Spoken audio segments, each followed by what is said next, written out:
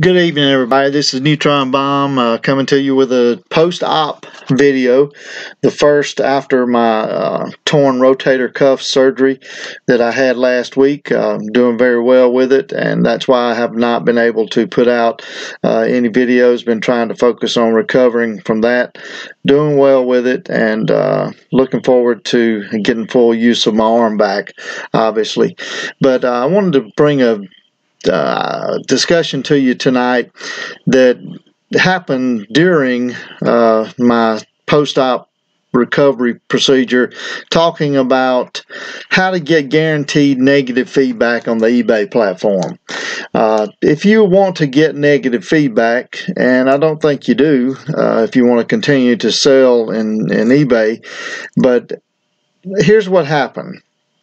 I received in the mail a shipment that was wrapped exactly as you see here.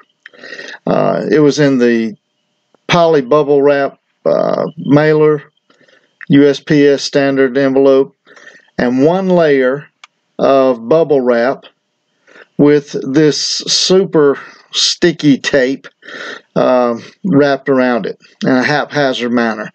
It was obvious to me when I opened this that uh, the seller did not intend for this figure to get to me safely at all. Um, the tape, if it comes in contact with the figure, will pull the paint off, uh, possibly, or damage it in some other way. Uh, maybe even cause a, a, break or crack. The bubble wrap itself was insufficient, and it didn't. There wasn't enough of it, uh, uh really. And uh, the figure that was being shipped is this. And look at all of the points that are uh, very delicate. They can could have been broken in this shipment. This, these little bows, the uh, basket handle, uh, they're delicate enough shipping them in boxes. Uh, I've demonstrated that and seen that happen.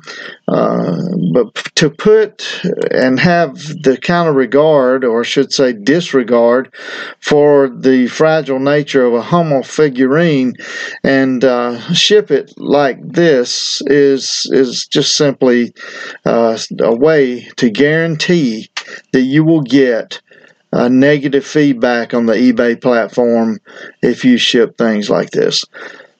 Here's the thing. I just, this is one of my pet peeves, I guess. I, I think it's up to us as sellers to make sure that we are doing everything that we possibly can to make sure that item gets to the buyer uh, safely. If I didn't know better, I would think that this seller did not intend this figure to get here in one piece, and uh, that would have allowed them to open up a claim. Uh, but I can't prove that. I don't know that. But I did send the feedback stating, look, if you expect something that's this delicate to get uh, nearly 1,200 miles safely through the system to a customer on a routine basis treating it this way, then you're heading for trouble. So let's take more time, is what I'm saying. Let's show our customers that we do care about them, and that's demonstrated in how we send the objects to them. Uh, so that's just my thoughts, just my two cents worth about uh, shipping ceramics, breakables, uh, and getting the item to the customer, I guess is what I'm trying to say. It's up to us. We're responsible for that, and uh, as sellers. So let's do that. And uh, thank y'all for coming by. And if you like the video, give me a thumbs up, please, and uh, leave me any comments uh, in the in in the comment section below. Uh, thank you. Y'all have a good night.